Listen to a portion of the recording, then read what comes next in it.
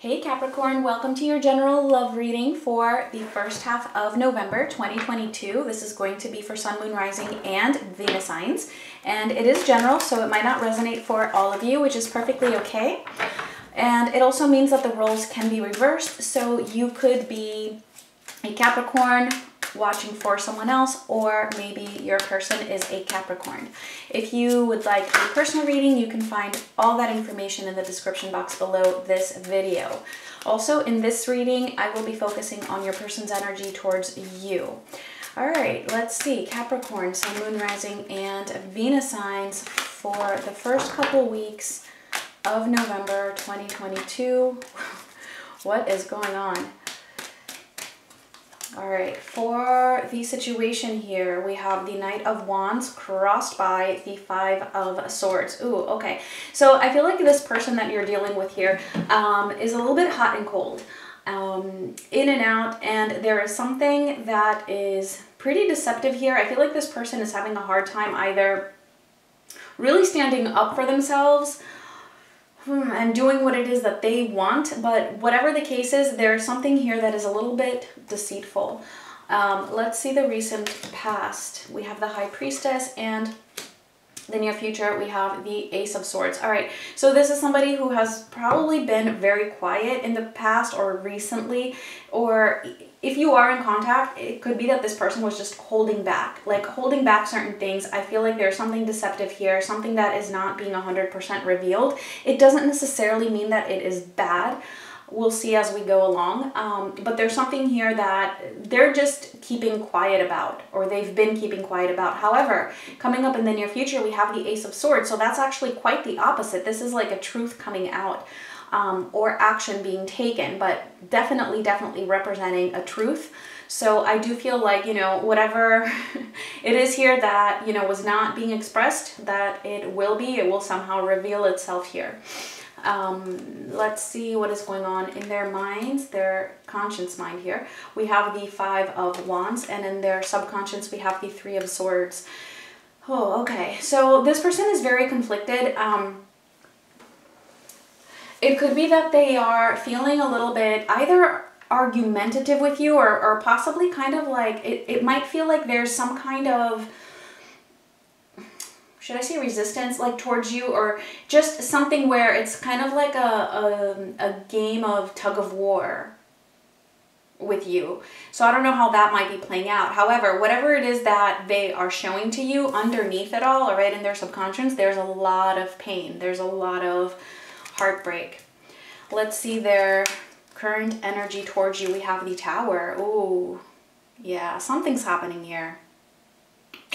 Something big is happening here. We'll see what that is when we clarify it. Let's see your energy in all of this. We have the Five of Cups. Okay, so you're feeling depressed, basically um, sad about this situation.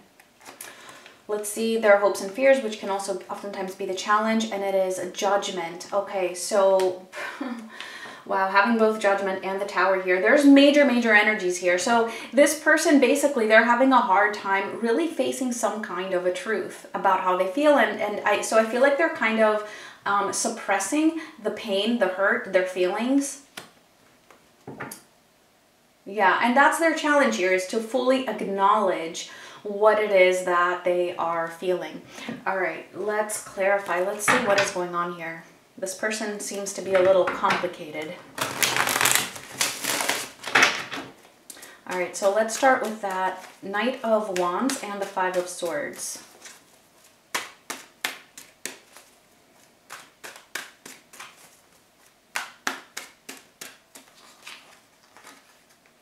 The Seven of Pentacles, the Nine of Swords, and the Queen of Pentacles. All right. I mean, you are showing up here for them. There's a lot of, uh, I don't know how this person is presenting themselves. It, it could be that this person is really appearing to be very like organized and like they have their shit together and, you know, um, that kind of a thing on the surface at least. But deep down, again, I mean, Nine of Swords, they're going through something very, very strong, very, very intense that's creating a lot of stress and a lot of anxiety for them. So I don't know what it is that they are being deceptive about here. I I personally get that it has to do with their own um, feelings towards you. But whatever that is, whatever it is that they're being deceptive about, it's it's creating a lot of stress for them. A lot of stress and a lot of anxiety because, well, I mean, I mean they're hurting deep down. So it's not like this person doesn't give a shit about you. So whatever it is that they're holding back from here, from sharing with you, it's creating anxiety and stress. Um, and I feel like, you know, they've been holding it in for a while also and it does also appear this is probably why we have the knight of wands with that seven of pentacles i feel like you know they do give some energy to this like they do give you something it's just not very consistent. And then I, I get like this person might give you something and then it can almost feel like they're stabbing you in the back in some way or just hurting you. So I can see why you would be feeling sad like this. Um, let's move on. Let's see that Five of Wands in their consciousness. Five of Wands. Why is the Five of Wands here? Justice. Okay, so we have Libra's energy and the Two of Wands. Very indecisive here. Again, I feel like there's a lot of back and forth. There's um, like a tug of war happening. It's like this person feels like, I don't know, I kind of get that they know that they're not treating you in a way that you deserve and this is something that conflicts them because they're no they know that they're not being just they know that they're not being fair to you, but it's almost like, you know, they, they're still just not really doing anything about it. Um, it's like, yeah, that bothers them. So then they get pulled in a different direction. So that's when they give you, you know, something. And that's when they, you know, they'll put some energy into it or, you know, they'll take some steps to do the right thing or to be fair to you or to give you that treatment. But then I, I kind of get that they don't go all the way. All right, especially with that Seven of Pentacles and that Two of Wands. I mean, they're just still holding back. So, yeah, so I feel like, you know, if, if you are interacting, I mean, this is going to play out in the interaction. Like, they can be, you know, one way, one minute, and then the next minute be a different way. So, yeah, I mean, this is feeling really, really like it could be very toxic for you. Let's see this Three of Swords for what's going on underneath all of this. The Chariot. Okay, so Cancer. Some of you might be dealing with a Cancer. And the Six of Cups.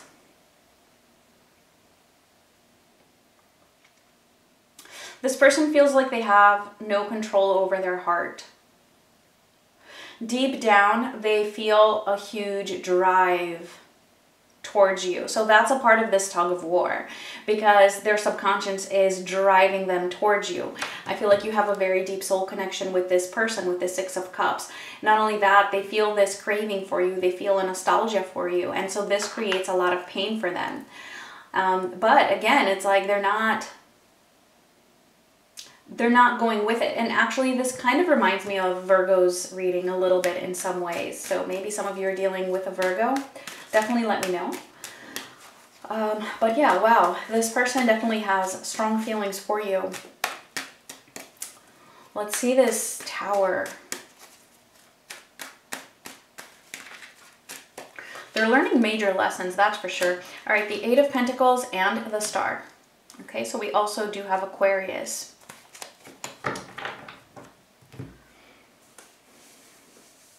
It's like this person feels like you came into their world and just shook everything up. It's like you came into their world and everything is different now. You came into their world and destroyed everything. not in not necessarily in the bad way. I don't mean it in the bad way, but you know, it, it's just kind of like everything they thought you know, um, about themselves or about the world or about what they thought they wanted or, you know, any of the above or anything similar to that. Like all of that was like destroyed. Like you came into their life to show them that no, you know, no, something that you're doing is not is not right or something that you were doing, you know, that was an illusion or that's not what you really want. Like you just really like shook things up for them big time. So you've triggered them to their core And I think that you've triggered them a lot more than you even are aware of. Um, this is this is something that was meant to happen. Um, you were meant to trigger them in this way.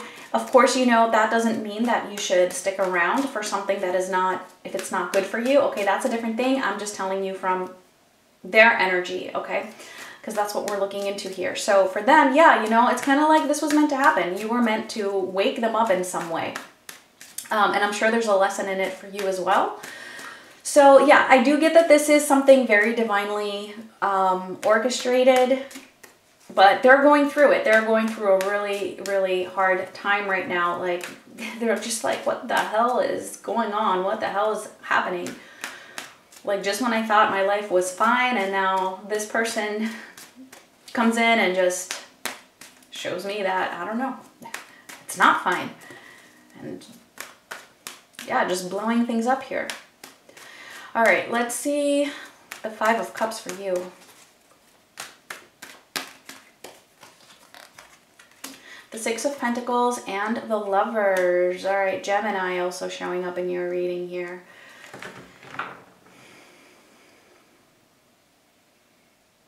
This is a situation where you have been giving more than this person, obviously. Um, and I feel like, you know, you're beginning to see that. You're beginning to feel the unfairness and the unequal give and take of this connection. And I mean, you still have feelings for this person. And I don't, I don't blame you. I mean, I can see that it is a very deep soul connection. It definitely feels like you've had some previous lives with this person. There's definitely, you know, karma here between the two of you. Um, yeah, definitely could be a divine soulmate. That's for sure. So yeah you still you still feel this for this person and this is why you know i feel like you know you're just you're feeling kind of sad. You're feeling sad about this. So i wish i could get some guidance here for you. This is why i don't usually do um, readings where i focus on the other person. But we'll see. I mean i know you can get through this. You can get through this. You're a capricorn. Or even if you're not it's okay. You can get through this. Anything that is being presented to us especially something like this where it just feels like you know there's it's divinely orchestrated there's a reason for it there's a lesson to be learned. You know the best you can do is just focus on what that lesson is and just allow yourself to learn from it and allow yourself to grow from it. And of course you know don't settle for anything less than what you deserve all right? Don't settle for unfair unfair treatment. Let's see that judgment card for their hopes and fears, which is also, like I said, the obstacle. All right, we have the Page of Swords and the Knight of Cups.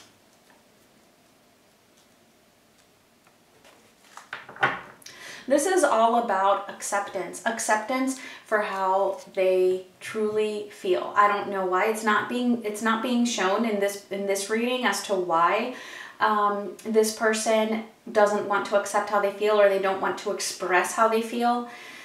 Um, something big is happening. It's definitely, you know, something that will change their lives a lot. Um, that's being very um, clearly shown here by this tower and by, by judgment. I mean, these are like major, major energies.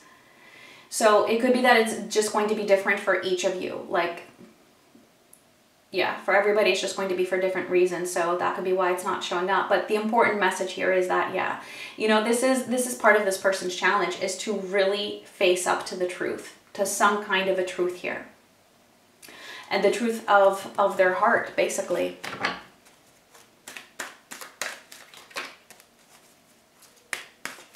They have a fear of that. It's almost like they have a fear of what they might discover, what else they might discover, it's coming in like that. All right. For some of you, it definitely could be that they are afraid of the intensity of this and have a fear of actually getting their heart broken. That could definitely be um, one of the scenarios here for some of you. All right, let's see the Ace of Swords for what is coming up because that is looking actually pretty positive. Oh, the sun. Yeah, did I not say? A truth is being revealed. Wow. All right, and the Page of Cups, the truth about their emotions. Yeah, so it does feel like this person is really moving towards expressing their heart, expressing their emotions more. All right, way more than before. All right, it's like the sun is going to come out and pretty much um, illuminate what has been hidden in the past. So yeah, it definitely, it's like a huge twist here. Huge twist. Also, this is Leo's energy, so some of you might also be dealing with a Leo. We had a whole bunch of signs in this reading. Definitely let me know which one you might be dealing with or even if it's a different one. All right, Capricorn. Wow. All right, let's see. Final message if this resonated for you.